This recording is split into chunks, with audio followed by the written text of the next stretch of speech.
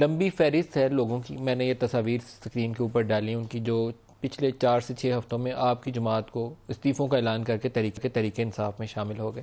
کیا بنا؟ میرے خیال میں جی اس کا جو ارتقاء ہے، وہ بلوچستان کے اندر جو جو سیاست نے نیا رخ لیا تھا، وہاں سے شروع ہوا تھا۔ اور اس کے بعد سینٹ کے جو الیکشنز ہوئے ہیں اور سینٹ کے جس طرح چیئرمین صاحب کو منتخب کیا گیا ہے وہ تمام معاملات اگر آپ ذہن میں رکھیں اور پھر آپ آصف علی زرداری صاحب کا جو خاکہ تھا، دو خاکے ہیں مختلف، ایک جن میں انہوں نے کہا تھا کہ یہ کھیل جو ہے، یہ عربوں کا کھیل ہے اور ان میں اتنا حوصلہ نہیں ہے کہ یہ اتنے پیسے خرچ سکیں، اس وجہ سے یہ کھیل میں ہی کھیلوں گا۔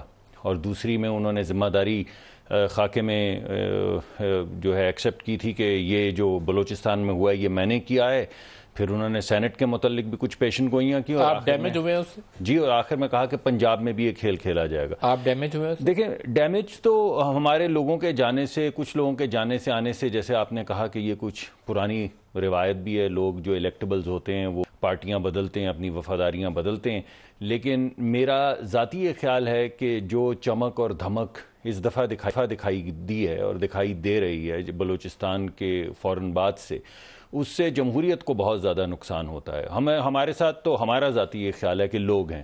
اگر ہمارے ساتھ کچھ اسٹیبلشمنٹ سے ملنے والے یا ان کے اثر میں آنے والے خیال ہے کہ یہ سارے الیکٹیبلز آپ کو چھوڑ کے چلے جائیں؟ تو آپ کے پاس اتنی عوامی حمایت ہے کہ آپ کو کوئی فرق نہیں پڑا؟ نہیں میں نے نہیں یہ کہا۔ میں نے یہ کہا کہ ہر چیز سے فرق پڑتا ہے لیکن ہمارا خیال ہے کہ ہمارے پاس جو اس وقت عوامی حمایت ہے وہ عوامی حمایت فرق پڑے آپ کو؟